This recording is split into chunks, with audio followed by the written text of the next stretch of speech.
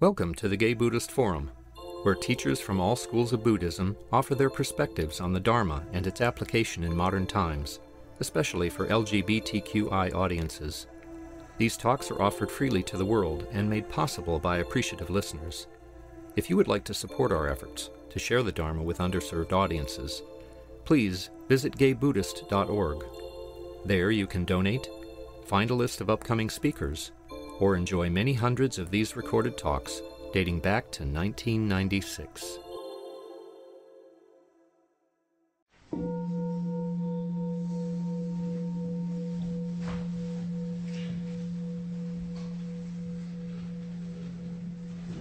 Before I introduce today's speaker, let's uh, go around and introduce ourselves. Um, I'll start. My name is Jeff. I'm Amos. David. I'm Len.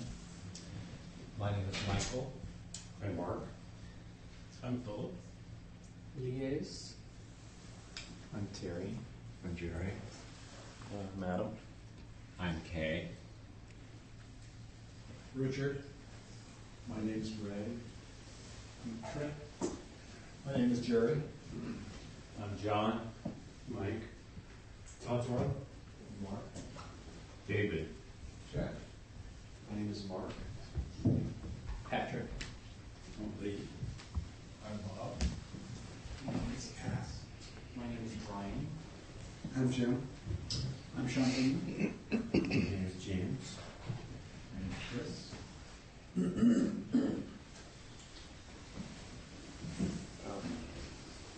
Again, welcome and thanks for coming out. Uh, Today we have the good fortune of hearing one of our own, uh, David Lewis. And David has been a member of the Gay Buddhist Fellowship for five years.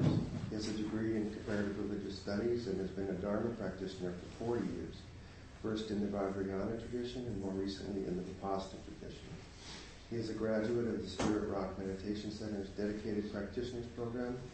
He shares the Dharma at several sanghas in the Bay Area. And I can say that in the brief time I've gotten to know David, I always get a sense he's a man who loves the Dharma. So, David. I do love the Dharma. I love you guys too. I love being here. Whether I'm sitting facing this way or facing that way, it's uh, it's always great to be here. Thank you for inviting me. Um, my topic for today, which I'm going to hold off telling you what it is for a minute or two. Um, was was uh, something that I just brought up in passing. I think the last time I talked here, and somebody came up to me and said, "Oh, let's make a Dharma talk out of that." Um, so I just kind of filed it away in the back of my head, and uh, in the last week or two, I started. Oh, okay, well, time to put together a Dharma talk, and, and it just kind of got away from me. Um, I'm, going to talk about some kind of big Buddhist concepts. So it's a little bit more of a tutorial than you usually hear coming from me um, in Dharma talks. Uh, but big Buddhist concepts, there's nothing wrong with uh, taking a look at them. I just want to pref- preface this by saying that um, the Buddha himself was not big on big Buddhist concepts. Uh, the Buddha did not uh, did not like to address metaphysics, metaphysical concepts. In fact, he, he actively uh, discouraged people from picking up metaphysical ideas. Uh, questions like, uh, "What's the meaning of life? Is there a God?" The Buddha just generally just wouldn't answer them, or he would change the subject. So uh, one of the interesting things, and one of the things that attracts me to to uh, the Dharma, is uh, this avoidance of big metaphysical concepts. The Buddha said, "I, I, I teach only uh, suffering and freedom from suffering," which is another way of saying I teach happiness. Nevertheless, in the course of his teaching, these big concepts came up, like the Four Noble Truths, dukkha, freedom from dukkha, and and they kind of sometimes come across as being treated dogmatically, which the Buddha, was, if anything, was not dogmatic. The Buddha said, um, uh, "Whatever you hear coming from me." And I'm repeating this, whatever you hear coming from me, you should be able to check out in your own experience. And by that, he meant um, not your views and opinions about things, but your, your own, what you, what you see in, in, in the world and what you see, what happens when you meditate, when you get quiet. So um, I'm going to uh, use a few Pali words. Pali is the, the language or a, a, an approximation of the language of the Buddha's time, because some, and I'll give you the translations, but sometimes for me, um, hearing the Pali word reminds me that, that this concept might be bigger or different or, or somehow somehow different than the English concept. And I'm also going to give you a couple of those notorious Buddhist lists. I know they annoy some people. So, because I'm talking a little bit about um, what I hope won't come across too much as concepts, is I'd rather have them come across as practices. If it's not making any sense to you, or if you're not wrapping your mind around it, um, just let it go. see what bubbles up. Hopefully, we'll have time to talk a little bit afterwards. So, uh, to start out, uh, one of the really big uh, collections of concepts, really, really important list in the Buddha's teaching is, is the three characteristics of experience. Do you all know what the three ex- characteristics of all experience are? They're in Pali, anicca, anatta, and dukkha. All experience is, all of our human experience, the world, is uh, uh, characterized by impermanence, by unsatisfactoriness, and thirdly, by non self. So um, that's a big starting off point for a lot of people that come to the Dharma, um, trying to wrap their minds around anicca, anatta, and dukkha. And uh, it's, it's, it's, not so easy. For me, the idea of impermanence was um, the easiest one because I, I, see that in my life. Uh, people come and go, uh, I look at the world around me. It changes when I meditate. My my thoughts are all over the place. My mind changes. My body changes. I get older. My fingernails grow. My hair falls out. Um, dukkha or unsatisfactoriness took me a little bit longer to get, but I also got that through practice. And for me, that's, that's um, largely understood through uh, my understanding of impermanence. Is if the world's impermanent, and if my mind's impermanent, if my experience is impermanent, then everything's changing, and that's unsettling. That's unsatisfactory. Even the good stuff, the wonderful things that happen to us in life, are temporary. They, they end, and that's unsatisfactory. And the bad stuff, the, the stuff, the unpleasant stuff that happens in life, you know, just keeps happening that's unsatisfactory.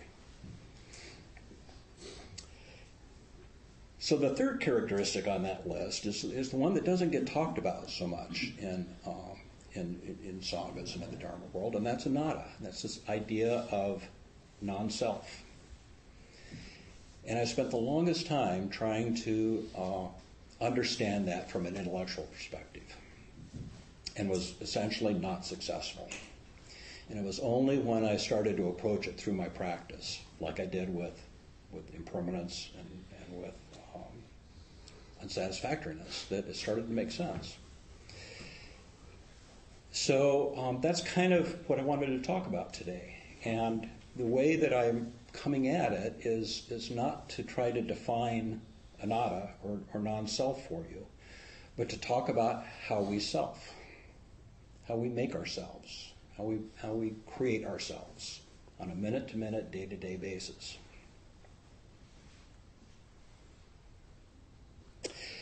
So, one of the ways we do this um, is through our view of ourselves, our opinion about ourselves. In Pali, that's called Sakkaya Ditthi, self view.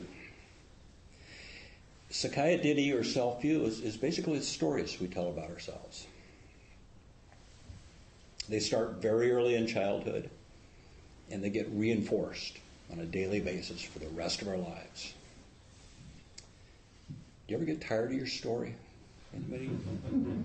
Just you ever find yourself telling your story sometimes? You just think, oh. and then, and when it gets really disturbing, this is a great practice when you start realizing it's not true, or it's elaborated, or it's. And the Buddha um, said that often in his teaching. It's not true. Words of the Buddha. Non identification has been declared by the Blessed One. For whatever way one concedes, the fact is other than that. However you think about yourself, it's probably other than that.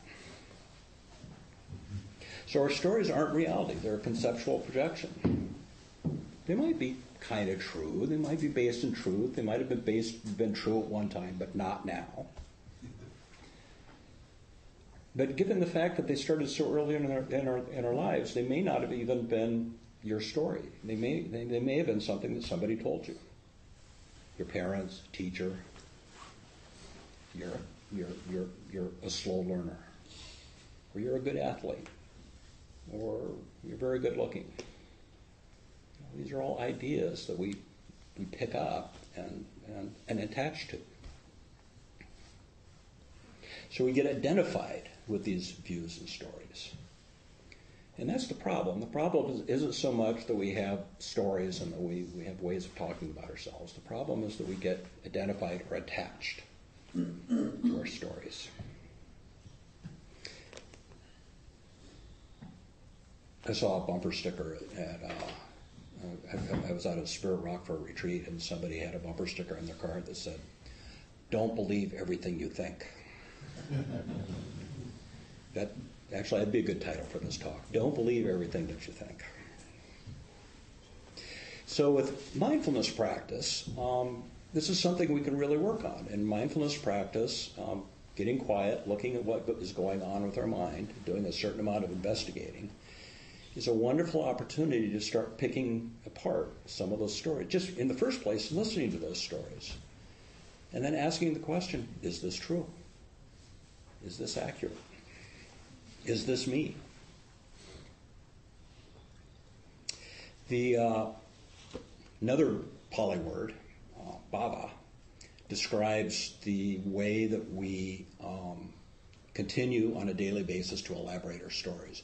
Bhava means becoming. And it's, it's how, we, how we are born, re- reborn in our own minds every day, how we create ourselves. Um, it's a really interesting thing to look at in practice is, is how we uh, how we, how we define ourselves, how we become. I'll give you an example of it. As I, the last couple of days, I had kind of worked on this talk, and then I, was, then I started thinking about it. Oh, is this a good topic for this group?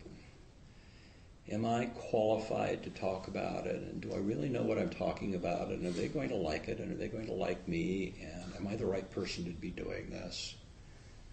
That's, that's all bhava. That's all, you know, I could have completely gotten bogged down and stressed out and overwhelmed by uh, my doubts about myself, about the topic, about whatever I was doing. Um, so my practice was is just whenever that stuff came up, I would just let go of it. Just notice, okay, it arises, you let go. Kind of like what we do in meditation. Stuff arises, we let go. Hameed Ali says, defines ego as the psychic structure based on crystallized beliefs of who we are and what the world is. We have all these crystallized beliefs and they become our ego. They're, they're us. We think they're us. So, um, what is us if, if us is not our thoughts and our beliefs about ourselves? The Buddha had teachings about that too. And this is um, another one of those really famous lists. I'm going to run it through, run by it as quickly, quickly as quickly as I can. Um, the Buddha said that there are five functions that make up human beings. Being a human being is, is kind of a matter of five functions. Called them the, the, the aggregates or the khandhas. In, in um, Pali, it's called khandhas, which means bundle or group. Um, the translation is aggregates. So here's what makes up a human being, according to the Buddha our body, my body, the solid thing, earth, air, fire, and water, this body. Feeling tone, second one. Feeling tone isn't about emotions, it's, it's, it's our preferences. It's pleasant, unpleasant, or neutral. And it, to practice with this, it's a really interesting thing to, to do in your practice, whether it's just walking around daily life or sitting on a cushion. Um, notice that whatever comes up, any thought you have, any feeling, any sensation, anything I'm saying right now, chances are you're either finding it pleasant, unpleasant, or neutral. If it's neutral, you might not be noticing. The third aggregate is perception, and that's recognizing or, um, or, or, naming things.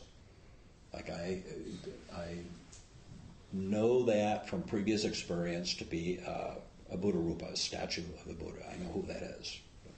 Somebody that has never seen one before would not have that same perception, but that's my perception.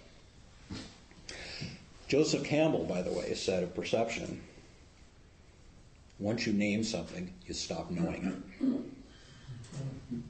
That's, that's, that's true of you, too. Once you name something, you stop knowing it. The fourth aggregate is uh, conceptions or mental formations, which is uh, another way of saying thinking, and including your emotions, thinking and feeling. Um, I am my thoughts. I have my thoughts, my thoughts are me. And the fifth is uh, consciousness, consciousness itself. Like, who is doing this noticing? Consciousness. So the, the aggregates are real. You, know, you can't deny we, we have bodies and we have thoughts and we have consciousness. So the, the, the, the fact that we have that these aggregates make, our, make us up is not the problem. The problem is that we get attached to them. This body is me. If this body changes, it's, uh, it's no longer me, therefore it's, it's disturbing. So we, we find it, we, our bodies age, that's, that's a little scary disturbing. We, our, our, bodies are going to die eventually. That's, that's very disturbing to us. Our thoughts change. Um, a lot of people find it very threatening to think about uh, that the, the, the thoughts might not be accurate. So, for all five of these khandhas, we tend to say to ourselves, unconsciously, silently, I take my body to be myself. I take my thoughts to be myself. I take my consciousness to be my, myself, my thoughts, my perceptions. The Buddha taught that none of these can be taken as self. None of these khandhas, which are real, cannot, no single one of them can be taken as self. So that's an exploration we can do in our practice. Is okay, is my body myself, this ever changing thing? Is my body what's essentially me? So clinging is the is which I know you've all heard other speakers talking about clinging. Clinging is the is the problem in, in this process. It's getting attached to our bodies, getting attached to our thoughts. Um, sometimes this is easier to see in other people than it is in yourself. When somebody is, is spouting just you know really kind of inane views or or somebody has an idea of themselves that you know is, is not true. Someone that you know is, is, is, is a pleasant, nice, attractive person that thinks they're just the worst person on earth, and you just want to shake them and say, "That's not my perception." I said, you but we have these beliefs, so sometimes it's easier to see in other people than than, than in ourselves. Which is why other people can can can be our teachers. Because when I see people with, uh, when, when my friends reflect things about themselves that I don't agree with, um, or that I have a different perception about, very often now I, I, say, oh, I do that too. It's just a reminder I do that too. And it's an opportunity for great compassion for both them and for myself. It's, oh, I do that too.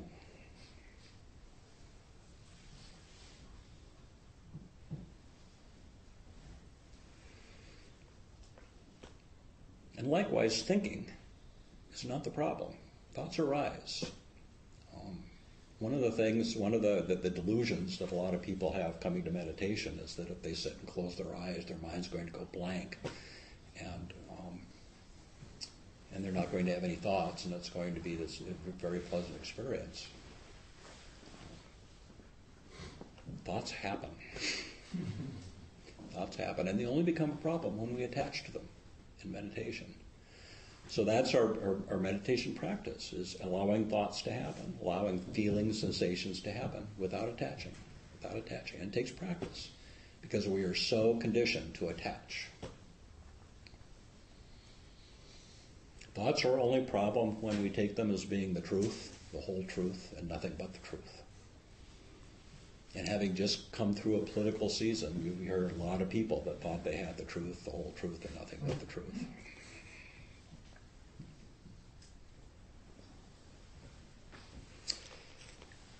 Uh, another example about myself and, and this whole process of, of, of solving, uh, creating identity or having identity was uh, about five years ago. Five, uh, five years ago, my partner died, and I'd been in a relationship for uh, over 12 years, and we were best friends and really close. And my identity was completely wrapped up in this relationship, more so than I knew.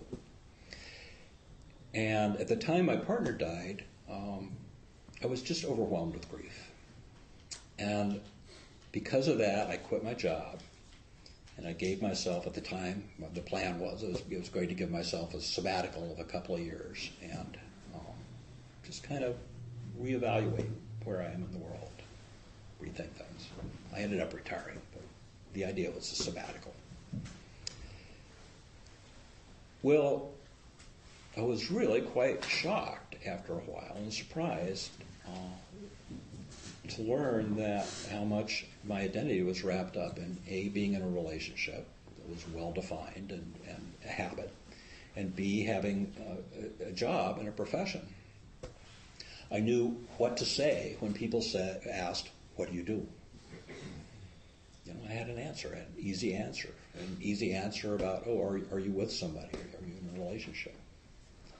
And all of a sudden, I didn't have a relationship and I didn't have a job and I didn't know how to define myself. It was very disconcerting, very disconcerting. Eventually, when I could let go of, of, of, the need to, to have those identities, um, it was really liberating for me. Um, but it, that wasn't an easy process. I kind of learned it the hard way. So imagine that um, many of you have attachments to identities. Not your fault. We, do it habitually. Have, have, have attachments to ident- identities that you just kind of take for granted. You might not be too aware of. Your job, your relationship, your your interests, your uh, intelligence, your hobbies, your families, sometimes cling to these identities feels like what's holding us together. Like, I am this, I have a definition.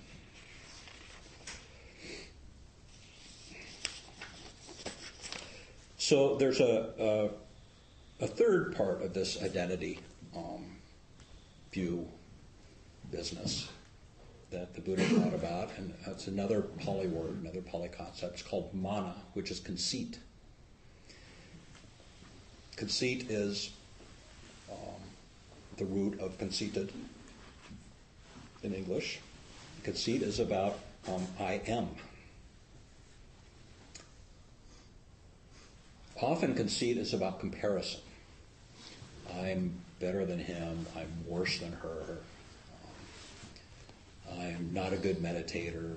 During the meditation, everybody in the room is so quiet and still, and my mind is just going 10,000 miles a minute, and I'm not as good as everybody else who's sitting here being perfect Buddhas. We feel conceit about our age, our race, our sexual identity, our religion, our nationality, our status, our class, even our spirituality. So conceit is actually uh, the cause of some of our worst problems in the world.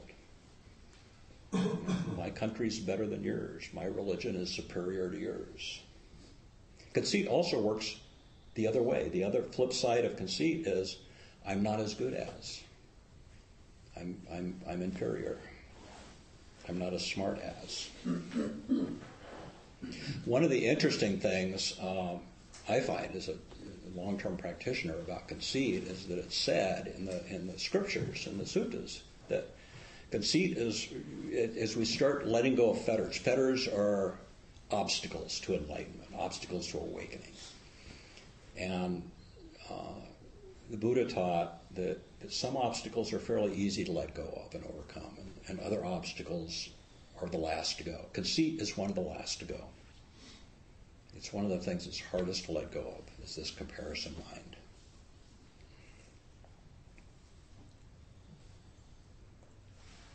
So, personality and self are, are really just habits of mind that we reinforce through repetition. It's, it's the way the mind inclines in habitual ways. It's habit. Our personality is a habit. R.D. Laing says, the range of what we think and do is limited by what we fail to notice. And William James says, each of us literally chooses, by his way of attending to things, what sort of universe he shall appear to himself to inhabit. I'll repeat that one. Each of us li- literally chooses, by his way of attending to things, what sort of universe he shall appear to himself to inhabit. I love that turn of phrase, appear to himself. You know, it's delusion. So our mindfulness practice can poke holes in this delusion. Our mindfulness practice can show us, can, can question authority. It's another good bumper sticker, question authority. Question your own authority. Awareness shines a light on these habits of personality. We practice letting go of concepts of who we are supposed to be and opening ourselves to a living reality of our experience. That's what we try to do in meditation is, is pay attention to direct experience. What is actually happening? Using our five senses plus thought. In, in, in Dharma practice, there's, there's six senses. the Buddha has a refrain that comes up over and over again in the suttas that is pertinent to this. This is the Buddha's refrain. It's, it's repeated very often. Seen as it actually is with proper wisdom, this is not mine. This I am not. This is not myself. So we can apply that to any of those aggregates or thinking. This is not mine our body. This is not myself. Our preferences, like this or don't like that. This is not me. It's a practice. When identity view starts to break up, um, which it does, if we do this investigative practice, it can be disconcerting, as it was for me. Um, but then, as it was for me, it can be liberating. And we've spent our whole life building this, this, this definition ourselves, this, this personality, this self view. Letting go of it's not so easy. But when we do, there's a spaciousness and an opening and a freedom to it. It's, it's an awakening experience. I'm not saying it's enlightenment, it's an awakening experience, and any of us can have it. Some of you have had awakening experiences this morning. Just sitting and letting your mind rest can be an awakening experience. The aggregates are still there thinking, body, perceptions, they're still there. We just stop clinging to them. We start to let go of clinging to them. We stop empowering our habits. This is a good time for metta, compassion, kindness for ourselves and for everybody else that's doing this, because we all do it.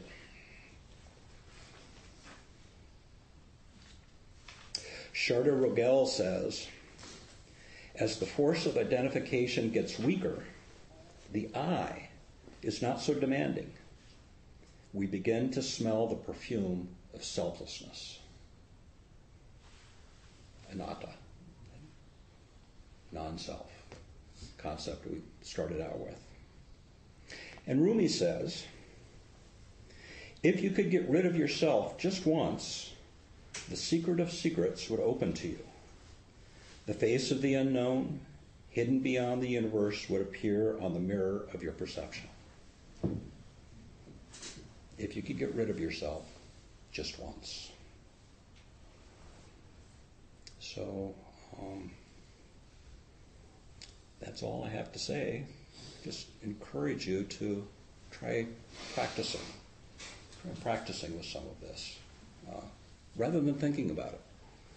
Notice what happens when you when you meditate.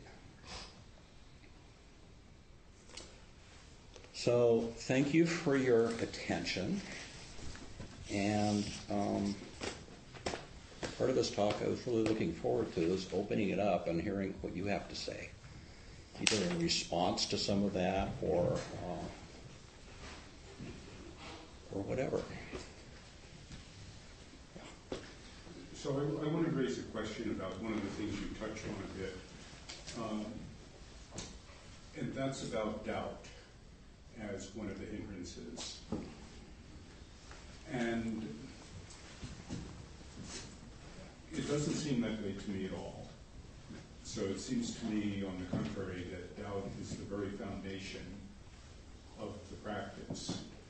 Doubt of the existence of the self, and doubt of the non-existence of the self.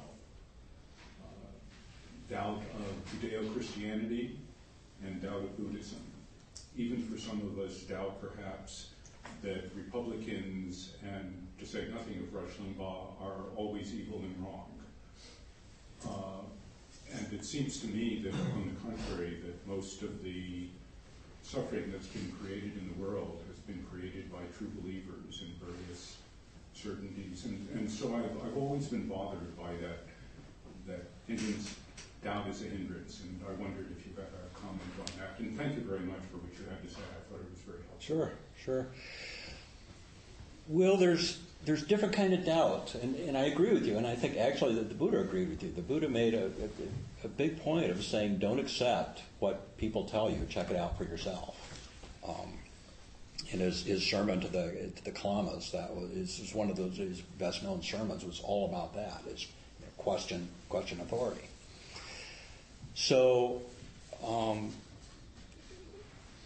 there's investigation and there's um, questioning the the, the, the, the, the, truth of things doesn't necessarily need, about, need to be about doubt for me. That's, that's investigation. It's, you know, just check out you know what's real and what's not. Doubt um, as a as a hindrance for me is more about do I have the ability to make these choices? Do I am I smart enough? Am I wise enough? Um, is, is my is my um, it's it's a self questioning kind of doubt. Because um, I think everybody has the ability to to to do um, investigation to make wise choices and to um, cultivate um, right thought. Uh, but if we if we question ourselves then it all fall, falls apart. We don't trust ourselves. So for me, there's different there's different levels of, of, of doubt. Does that help at all? Yeah, I think so. There's actually a word that I'm looking for here, and and Neurosis? Neurosis? No, but that's neurosis. Thank, that's not the word I was looking for. But neurosis is that kind of doubt that that leads us astray. Yeah, good point. I think Yes. skepticism is different than doubt. I'm sorry? skepticism about like ideology? Is it is it different things? Yeah, and that's a good way of putting it too. There's nothing wrong with being skeptical. Um, so one of the things a lot of people admire about Buddhism and the Buddha is that the Buddha en- en- encouraged that kind of skepticism, but but the Buddha also encouraged faith, which you don't hear talked about a lot in Buddhism. But faith is is is for me, it's about faith in my practice. Like I have seen my own practice bring the truth to me. I have a certain amount of faith that if I sit with this, that I will come to a right understanding. Yes. I have two things. One is um, a line from a movie. I've forgotten everything about the movie except the line, the fanatic always has a secret doubt. It's something in the movie. I've, I've written that down. Yeah. But the other is, you, uh, when you talk about expansiveness, uh, I've experienced that, and, and I, I don't know whether it's from coming here or not, but in my photography, I, I, I've become incredibly expansive about what I let in. It's almost this unfiltered view of the world photographically. And I tell people this, I said, there is really beauty everywhere if you're open to looking at it. And my photography has changed because of that, actually. So I really appreciate that, what I've come away with from here. Yeah, you're, uh, you just reminded me. Um, I just made one of those synaptic connections. You remind me of something a teacher of mine said once. Um, uh, in a group uh, in, in, during a retreat, and somebody was complaining about not, not finding love in their life. And, and the teacher said, You can find love in a puddle of dirty water if you know how to look for it. It's, it's, You know, we have this idea of, of what love is. And, you know, it's, it's, it's, it's an identification. Yes, Ray. Um, the, um, I appreciated the um, thing about my perception may be erroneous. Um, and I think one of the real impediments for me is just to, when I, even when I see that my perception is erroneous, to admit it. Yeah. I get, cl- I cling to, you know, my Yeah. idea. yeah. How else are we going to change if we don't? Right? And I'm reminded of a quote, either- it's either Plato or Socrates said, uh, time will alter and even reverse many of your presently held opinions. Good Dharma. Yeah. Um, I have a question. Um, I'm, I'm kind of a, a neophyte in understanding Buddhism. Um, so my question had to do about your kind of elaboration of clinging, and in terms of, better word, what one might call one's identity, rather, um, because I was thinking you were talking about having an identity or have, thinking of yourself as being part of a couple, for example, or having a certain career.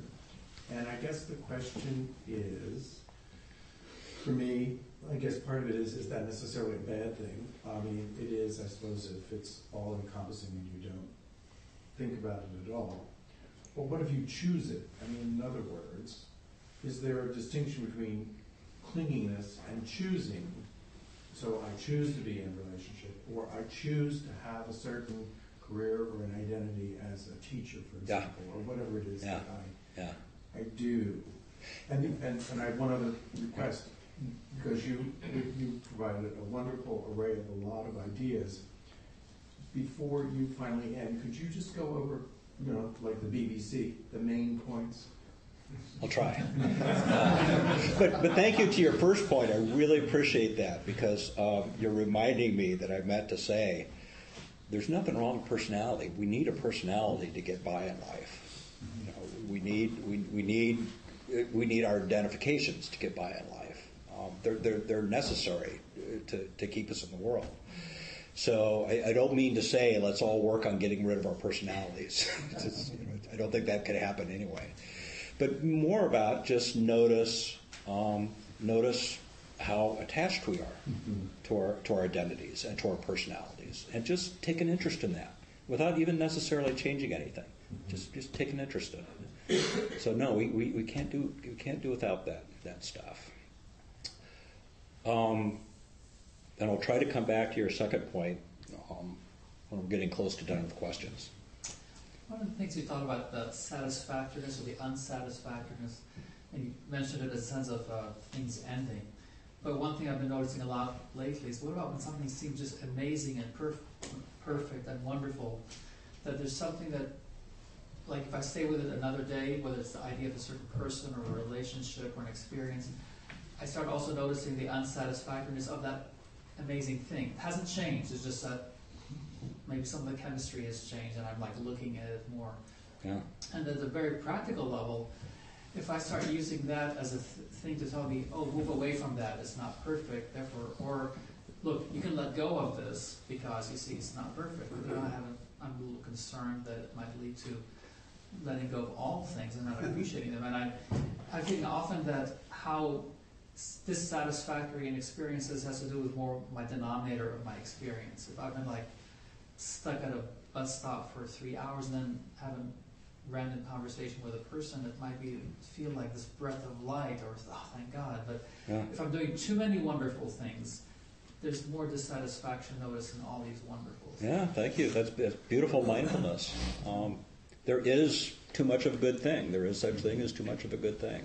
You know, chocolate ice cream is great. A, a, quart of chocolate ice cream is a little bit too great.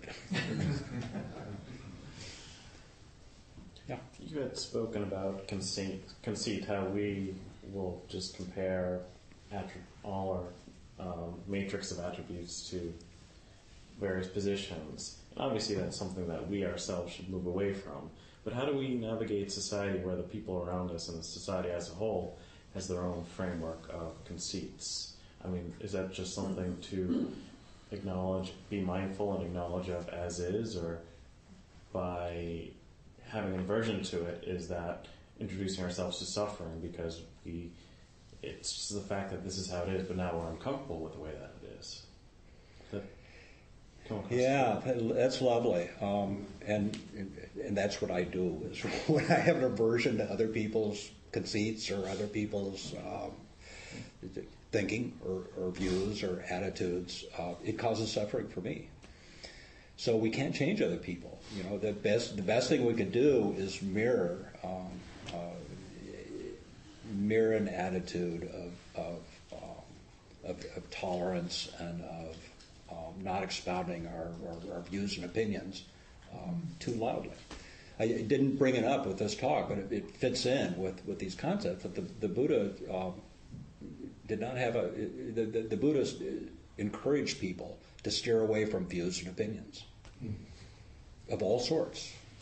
Um, not that we can't be discriminating and make, make the right choices, but um, you know the world is so full of views and opinions, and we notice that. You know, like during the political campaign, I was just overwhelmed with obnoxious views and opinions, including coming from people that I completely agreed with. Um, so, but the, the other thing I, I want to go back to is what I was saying earlier on: is those people, meaning all of us, can be a teacher. You know, they, they, they remind me that, oh, I do that too. I do that too. Yeah. I appreciate you delving into a very um, difficult concept in the midst of Uh, here, because it's something I really appreciate about the self. I, I do a lot of investigation about self, non-self, interconnected self. And in the last few years, it's been demonstrated in my name, and people who know me know that I struggled with.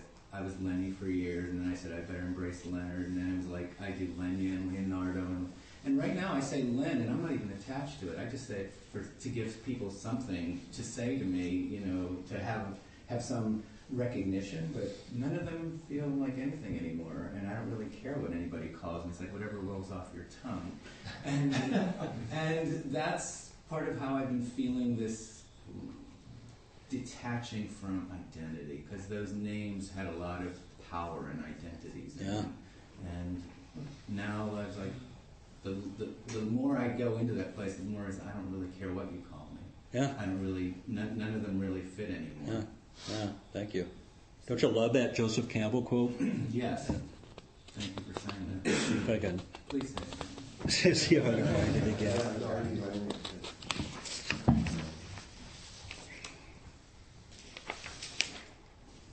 Every time you name something, you, you stop. Every time you name something, Stop knowing it. you stop knowing it. You stop knowing it. I don't know. I can't find it. But you guys just did it. what? Why do you think gay men have so many opinions? Well, I wasn't. okay. I, I wasn't going to go there. You just took us there. You're here. This is this. What's the name of this group? This is the Gay Buddhist Fellowship. What's it mean to be Buddhist? Do you have to meditate? Do you, do you have to name yourself a Buddhist? Do you have to take on that identity? What's it mean to be a Buddhist? What's it mean to be gay? Um, Gore Vidal, uh, Yeah. Gore Vidal did, did, did, did, rejected being called gay. And he said, homosexual is something I do with my body. He says, therefore, I'm a non practicing homosexual. It's, you know, those are both identities. And uh, it's, it's, you can take any one of these facets of our, of our identities, our, our gayness, our Buddhistness, or not, um, and, and investigate it, and it's interesting. It's interesting to pick that apart. Why gay men have so many opinions, I don't know. Except, you know, we've. The, the other thing I was going to say about being gay is we know about letting go of an identity. We're all raised to have an expected identity, right? You better be straight, and you better be good, and you better, you know, do what mom and dad, you know, follow the family tradition. And so, so we know something about letting go of identity. But we also know something about taking on a new, a new identity. And we have all that good taste. and we have good taste. Well, I'm good at you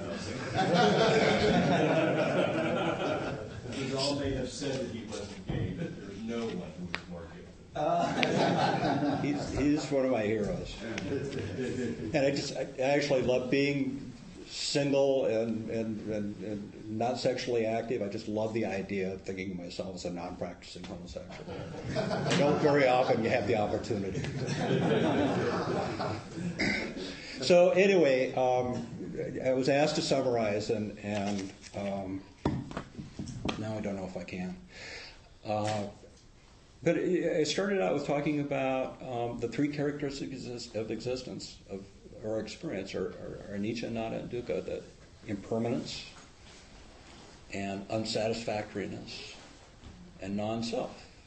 And I'm just suggesting that the way to approach this concept of non-self is to think about how we self, how we, how we make ourselves, how we create ourselves how we do that, that becoming business on a day-to-day, moment-to-moment basis, even while we're sitting here today. Is that's that's the practice that I'm suggesting.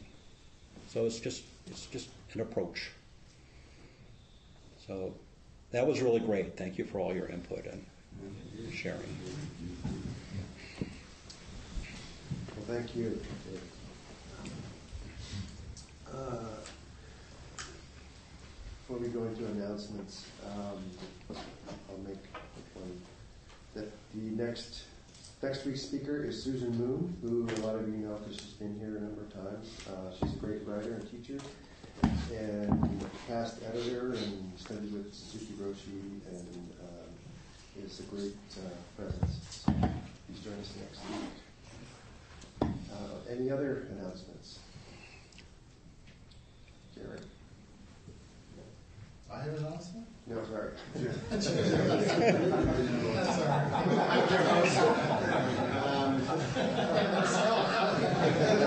You always have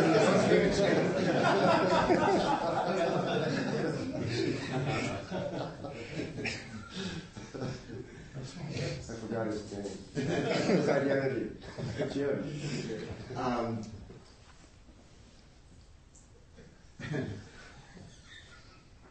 I, um, I'm, I'm stuck without an identity right now. Um, um,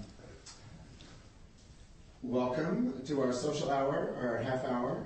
Um, there are some treats out there. There's some almond, you know, sweet roll and some zucchini bread and some apples with lime juice on them. And um, there's hot water, and I'll put a, a bowl of um, hot sudsy water in the sink. So just put your used cup, um, if you've had tea, in that bowl. I'll be going around with a Dharma bowl. Um, suggested donation is five to a thousand dollars. We have many broad commitments. And uh, frequently, um, or regularly, around twelve thirty, guys who uh, are able and want to go to lunch together meet at the door and uh, wander off to uh, a restaurant. And um, there's a sign-up sheet um, next to the Dharma Bowl, or on that credenza right here if you want to get on the email list.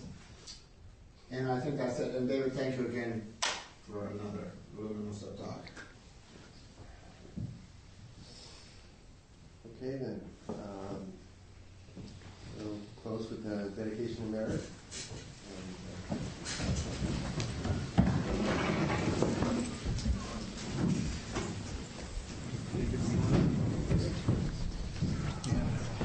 I'll. Good. Yeah.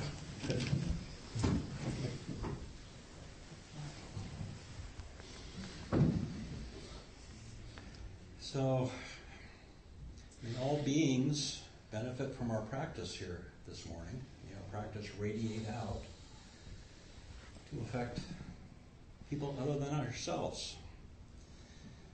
May all people not be too attached to their identity. May all people have limitless personalities, be open to the possibilities of being something other than what they think they are. More. May all beings be well. May all beings be happy. May all beings be free.